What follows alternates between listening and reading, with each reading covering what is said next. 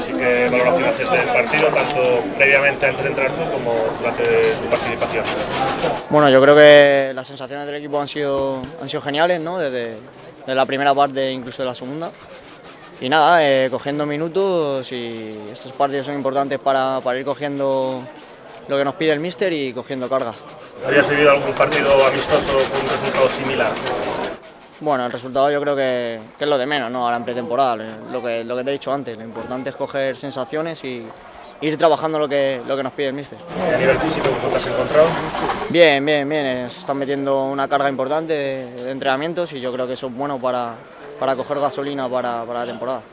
Lo que sí que eh, tiene algún mérito es que el otro día hubo como más diferencia entre una unidad y otra. En esta salen los chavales y no se nota ¿no? esa, esa diferencia, son capaces de mantener el. O sea que la Ponce también saca sus titulares en ese tramo.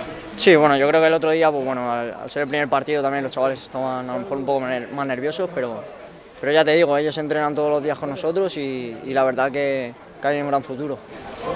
Los partidos, pues como decía, son pretemporada, no sirven, pero sí que, bueno, no deja de ser un estímulo. Si unes a un equipo de segunda, una categoría superior. Obviamente decimos que, el resultado es lo menos, pero, pero si, si te vas con, este resultado, pues, pues mejor, mejores sensaciones y, y con más ganas de, de afrontar el próximo partido.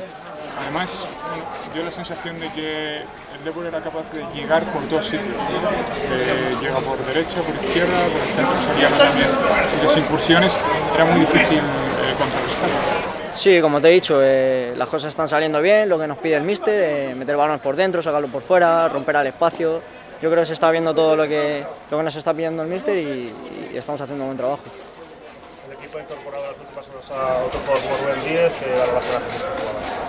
Bien, un gran jugador, un, gran- un jugador con calidad que, que ha jugado este año en Tenerife y yo creo que nos va, que nos va a aportar buenas cosas.